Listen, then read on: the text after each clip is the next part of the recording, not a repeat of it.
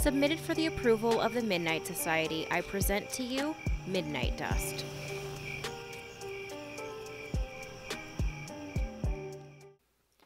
The things we'll need to create our midnight dust is some powdered non dairy creamer. Now, you could also use a really fine flour, you could use a hot cocoa mix, anything like that that is a very fine powder will work um, to give a similar effect on the fire. But I do know in the show they actually used non dairy coffee creamer, so that is what we are going to use. So then that way we have the closest resemblance to the actual prop used on the show.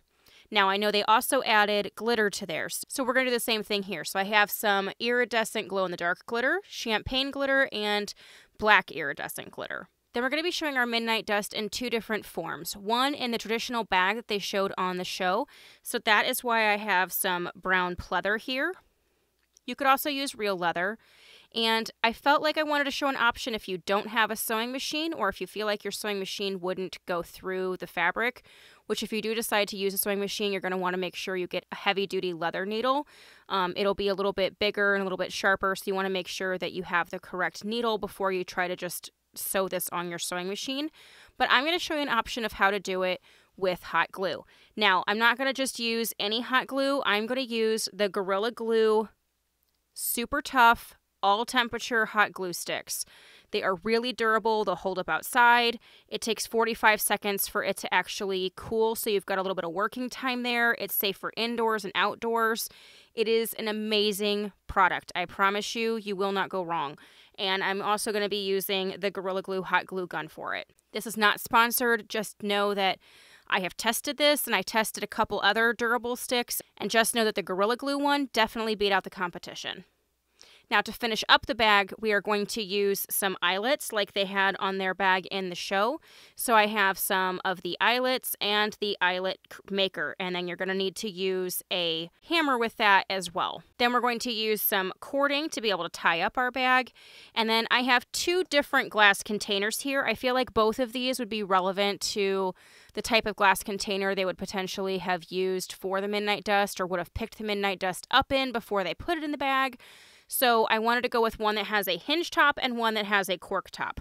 I'm also going to use some black and leather cording. We're also going to need some scissors, as well as a label for our jar printed on sticker paper, and the link for this is in the description down below. Let's get started. Would you like a chance to win one of my potion bottles? Then consider supporting me over on Patreon. All of my patrons have a chance to win a monthly potion giveaway. But for the months of June, July, and August, I'm also doing a second giveaway just for my patrons. So if you would like a chance to win one or both of these prizes, then consider supporting me over on Patreon. Link is in the description down below. So before we create our Midnight Dust bag, I want to show you how to create the jars. So I felt like they would have picked up the Midnight Dust from a proprietor, maybe CNCC apothecary even, and it would probably come in a glass container, and then they would dump it into their bag. So I wanted to show a glass container that even if someone was to use it right out of the container, it would be usable. So both of these have a wide enough neck that you'd be able to grab a handful of the midnight dust and throw it right on your fire. But I also felt like it was a good size for it to be dumped into the bag. So again, I just wanted a jar that was going to give the effect we're going for and at the same time also be usable and be cool looking on a shelf. So, that being said, I'm going to go ahead and show you how we're going to mix up our midnight dust. And like I said, in the show, it was just the non dairy creamer and then it was glitter. So, instead of just doing a clear glitter where you would just see a little bit of sparkle, I wanted to add a little bit of dimension with the black iridescent and the champagne colored glitter. So that's why we're going to go ahead and mix all three of those. Now, I picked this non dairy creamer up at Meijer, but any local grocery store you should be able to get it pretty inexpensively. I know the Dollar Tree does carry it, but it was like in six ounce increments and it was a dollar twenty five, whereas this was like $2.50 or $2.99 for 16 ounces. So it was actually a slightly better value. So that's why I went ahead and got the bigger containers at Meijer. And um, I picked both of these jars up at Hobby Lobby. So um, just keep your eyes peeled. They're good in the canister section, all that kind of stuff. But we're going to dump our non dairy creamer in here. And because this is such a big jar, I don't want it to be so hard when we're mixing things up. So we're going to kind of do it in layers. So I'm going to add some of the non-dairy creamer.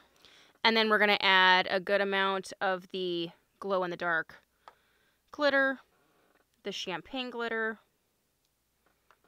and the black glitter. And then we're going to continue to add more of the creamer and continue until it is filled to our desired height.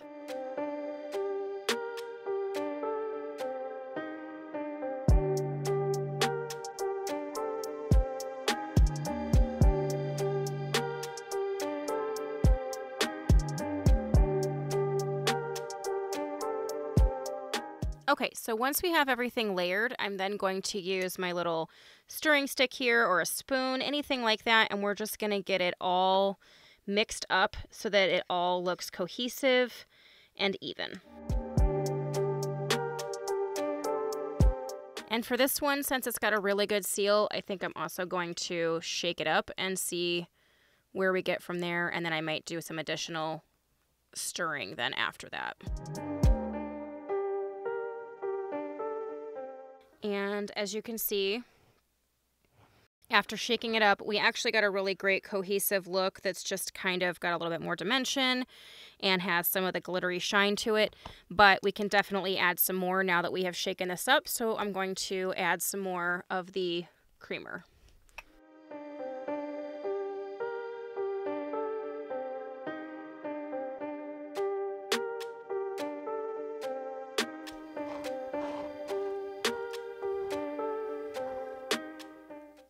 So we've got our glittery midnight dust here, and I feel like that's a good level now.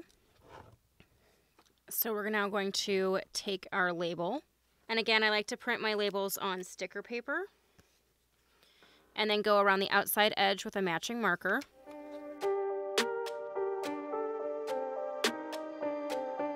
Okay, and I think that looks pretty straight. Okay, so I think I want to add some of this leather cording under here, right under where the top of the jar actually closes. So I'm going to use my hot glue gun and we're going to add a drop of the hot glue there. We're going to run it all the way around and then we're going to put another drop to hold it down. And then I think I'm going to put a black cord right underneath of it. And again, this is not sponsored, but one thing I really like about this Gorilla Glue hot glue gun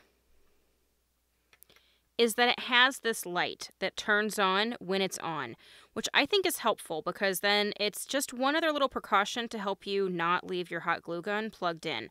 The other cool thing is it has both dual temperatures on here, so you can do the low setting or the high heat just depending on what you're doing and what kind of stick is in here. So um, I do really like that. I also like that this handle is so much longer, so you actually can use your whole hand because on some hot glue guns, it's so tiny and after a while, your finger wants to fall off. So I actually really like that this is a bigger handle to be able to hold on to it.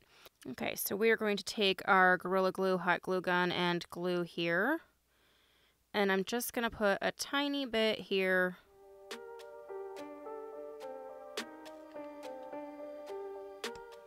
on the end. Now, again, the really nice part about this one is it gives you a solid 45 seconds to work with it. So if you need to move it or adjust it or anything like that, it gives you plenty of time to do that. So I'm going to stick this to my glass. Now, as a lot of you will know, hot glue and glass don't always go along. That's why I tell you to use your hot glue on glass if you want to remove it. But I will say the hot glue the Gorilla Glue hot glue does pretty darn decent and doesn't pull off super easy. So I'm just going to string this all the way around. And then we're going to cut this. And then again, I'm going to take the hot glue and just put a little bit here on the glass as well as on the end of the first wrap we did. And then I'm going to do the black cording right underneath the tan.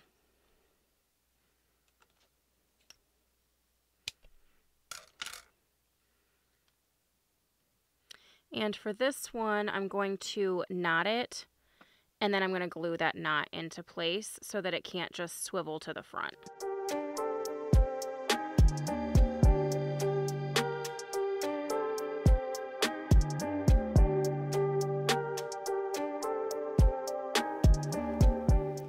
To keep this from popping up, I'm going to add a couple little drops of glue periodically behind the leather cording. Okay, so now that I have both of the cordings on here, I think it just adds a little something to draw in the color of the bag and kind of give a little bit of a nod to that original Midnight Society Midnight Dust. And I'm going to do the same thing for this container. Okay, so now that I have both of my Midnight Dusts complete,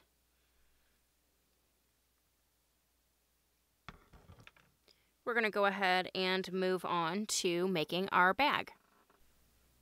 Okay, so the beautiful thing about doing this bag with hot glue is that it's super forgiving, so you don't have to be crazy exact. Now, like I said, you could easily hand stitch this. You could definitely sew this with a sewing machine. You just want to make sure you have the right needle, but I wanted to give you an option in case you don't have a sewing machine. So we're going to be flipping this bag inside out to make sure that the seams are actually on the inside and it gives a nice clean edge. So to do that, we're going to put the two nice pieces of the leather together. And like I said, this is a faux leather. So the back is like a regular canvasy fabric. I actually found this on the really big rolls of pleather or faux leather um, that you can find in the like upholstery aisle of Hobby Lobby.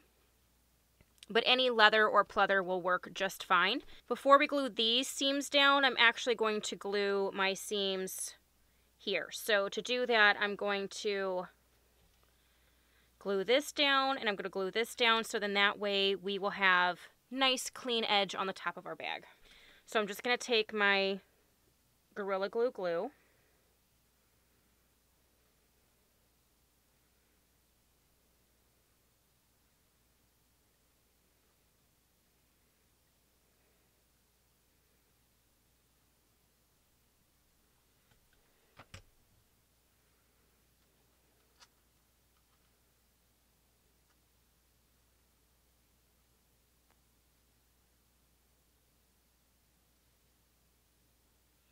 and then we're flipping it over and we're going to press really good. And again, the beautiful part about this glue is you have 45 seconds of work time to get it exactly where you want it, get it all smoothed down the way you'd like, and make sure that it gives you a nice good seal with that glue. And then we have our nice finished edge. So we're going to do the same thing for this side.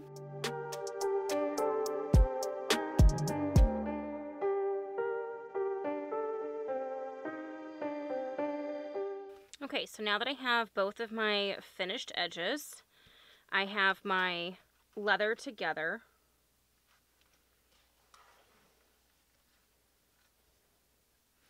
And we are going to glue the two leather sides to itself to create a seam this way. And then once we do that, we're going to fold it over and do another glue seam here so that we're getting the canvas gluing to itself and we're also going to kind of at run a bead along the edge to just seal everything in really, really good.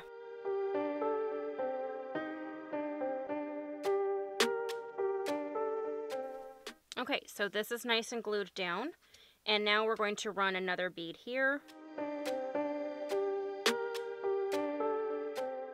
And we're going to fold this whole seam over.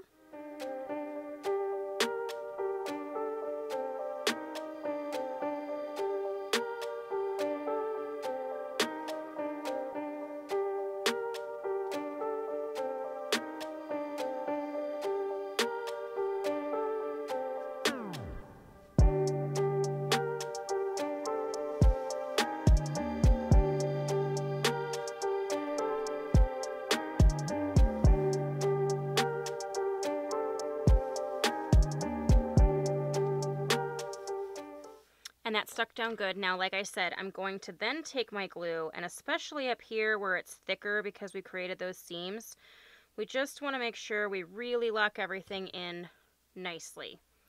So be careful, don't burn yourself.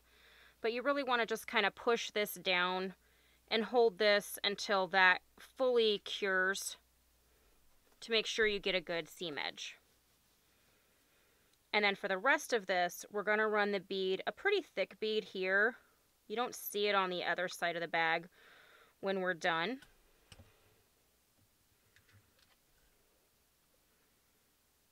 But we're going to run the bead right along the very edge to just kind of seal that edge down to the other part of the bag so it won't leave any gaps so that if we put our midnight dust in the bag, it's not going to leak because everything will be good and sealed.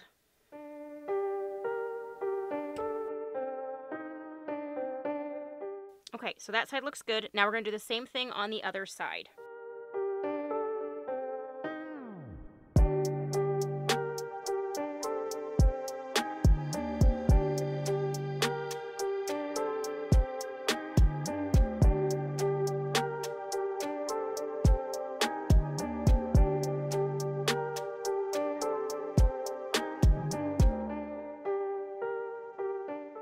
Okay, so once we get all of this glued, I like to leave it sit for a good five minutes just to make sure it's nice and cool and everything has completely set and cured. Okay, so now that everything is cool and good, we are going to carefully flip our bag inside out. Now, obviously, if we had sewn this, you wouldn't have to flip this so carefully, but I just want to make sure that on our newly created seams that we don't create any openings that aren't necessary. So just carefully flip the bag inside out.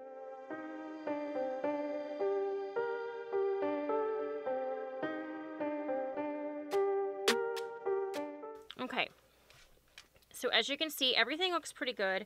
The only thing we got was a little bit of separation up here on both sides, and a lot of that just has to do with how thick this is. So at this point, what I like to do is add just a little bit more glue and you want to make sure you go in close because if it seeps out, you don't want it to come past the pleather. And then I'm actually going to take a book and set it on top of it so that it can cool that way to make sure that we get really good adhesion. And then we're going to let that cool for a couple minutes. Okay, so after I put the books on there and it cooled, we have our bag all ready for our midnight dust. Now, the only thing we have to add is our little rivets. So to add rivets, we use a rivet tool. And you can find this tool in the sewing aisles as well as the leathercraft aisles of pretty much any craft or sewing store. So basically what we do is figure out where we're going to put our eyelets. And we're going to trace the circle, cut that out. If you have a hole punch that's the same size as the middle of this, bonus.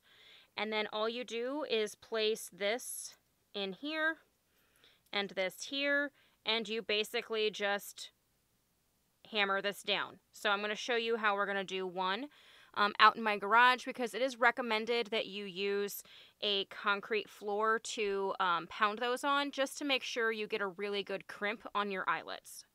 Okay, so for this, I thought I filmed the first part and I didn't.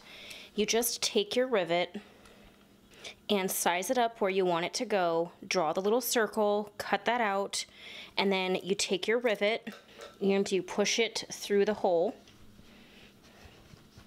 like this and then you take the other side of your rivet because it comes in a set and you place it over top of it like this.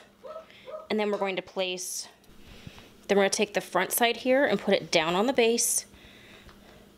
And we're going to take this piece and hold it here and then on concrete we're going to hammer it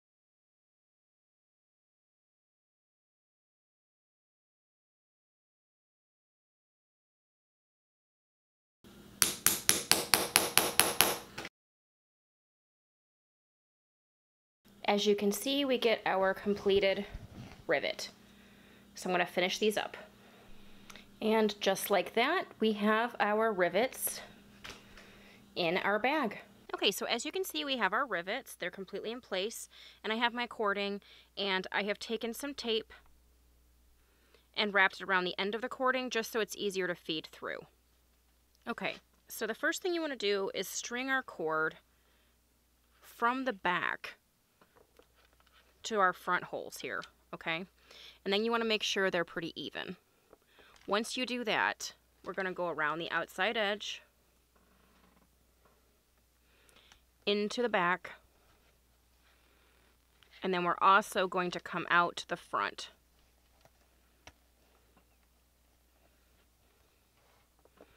And we're going to do the same thing over here. Around the side, through the back, out through the front.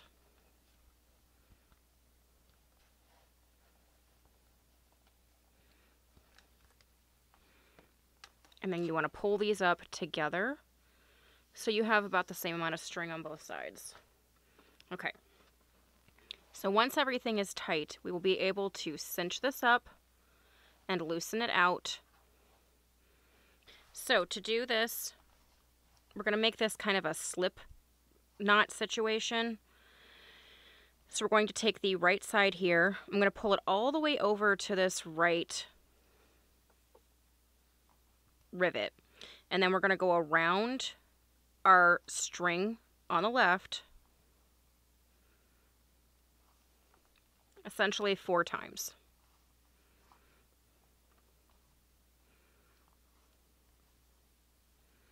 Okay, so now that we have our four loops, we're going to take the same string and go up to the very top of our loops and we're going to string it behind.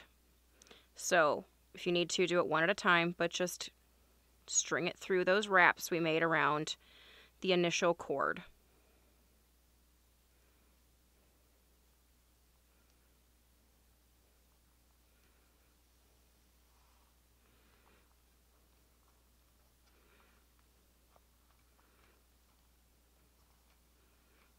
Okay.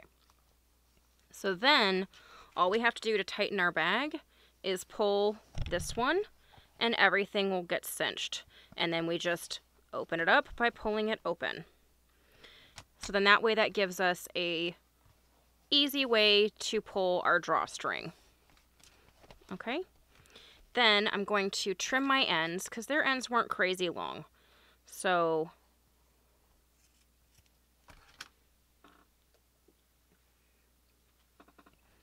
we're going to trim the ends and I'm just going to knot these off.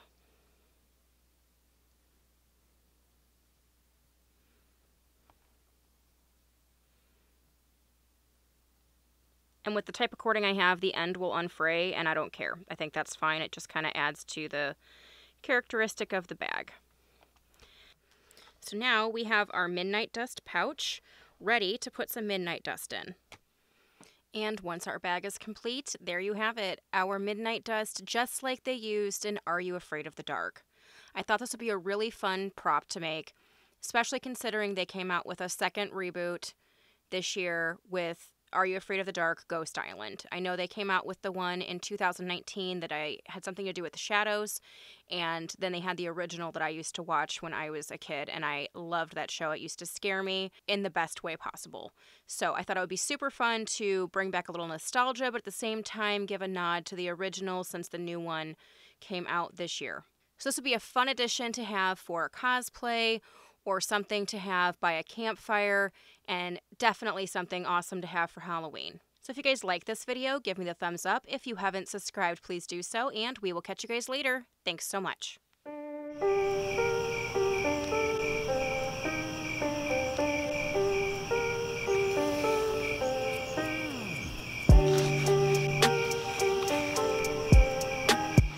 And with that, I declare this meeting of the Midnight Society closed.